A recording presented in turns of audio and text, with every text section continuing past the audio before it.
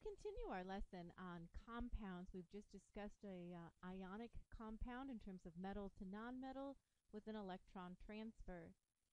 We're going to introduce just briefly a second category of compounds known as molecules. We are on page 7 of our note pack, just to kind of show where my note pack is. Uh, open to page 7. Let me bring that up high and kind of skimming down to where we finished uh, like a review section from the previous video lesson and I'm on chapter 6 molecular compounds. From there we'll go back to the PowerPoint and show our definitions and examples.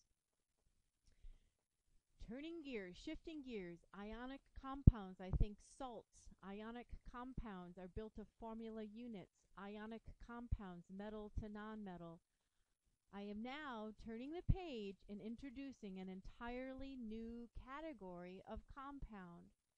The second category of compound is known as a molecular compound. Page 7 of our notes. Please define with me that molecules are the smallest building block. They are electrically neutral. Just as atoms build elements, Molecules are the building blocks of molecular compounds. Now, very clearly, I'm going to write a note from the last category. Ionic compounds are built of charges.